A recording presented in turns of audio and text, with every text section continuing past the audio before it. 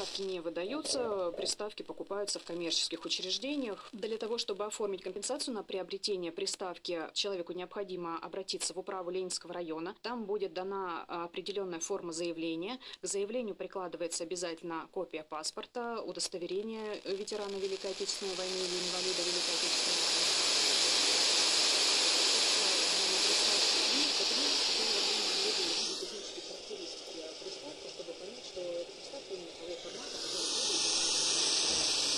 Это была заместитель руководителя управы Ленинского района по социальным вопросам Евгения Демченко. Остается добавить, что жители других районов Воронежа по всем вопросам подключения цифровых телевизионных приставок, их настройки и получения компенсации за их покупку должны